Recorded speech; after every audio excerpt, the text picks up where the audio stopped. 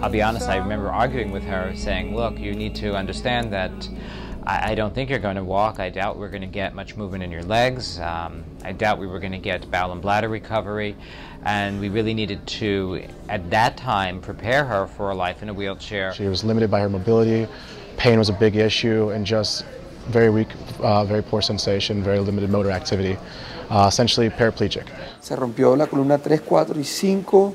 Eh, todo el mundo automáticamente dijo que no iba a volver a caminar. Fue muy impactante para mí porque te cuento que de verdad nadie se lo imaginaba.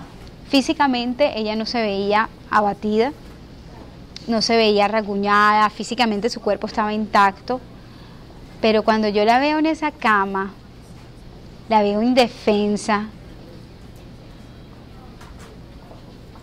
fue un momento muy duro, o sea, fue como ver que ella estaba ahí. Tan delicada que, que, me dio tristeza, la verdad en ese momento me dio mucha tristeza ver a Griselda así.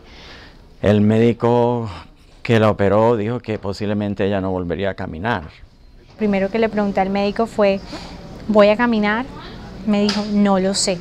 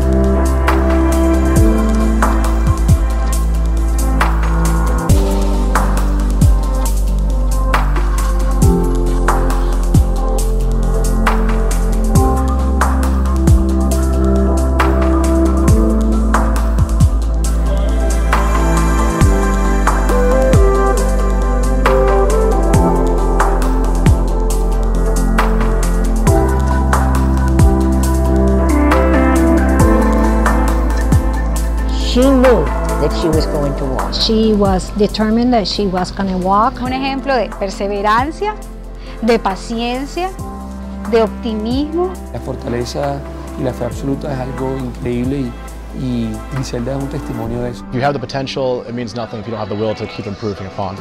Me parece que eso fue un milagro. Y fue bonito porque muchas de las personas que no creían que ella iba a levantarse o que ya lo daban todo por perdido, que ya la habían, eh, digamos que destinado a estar en una silla de ruedas, se dieron cuenta de que, de que no era así. He visto un milagro tan de cerca que, que eso me tiene impresionada. I completely agree with that. She really is a miracle. I, I try not to use the word miracles because miracles, by definition, have no scientific basis, um, but it's certainly a nice surprise from someplace above.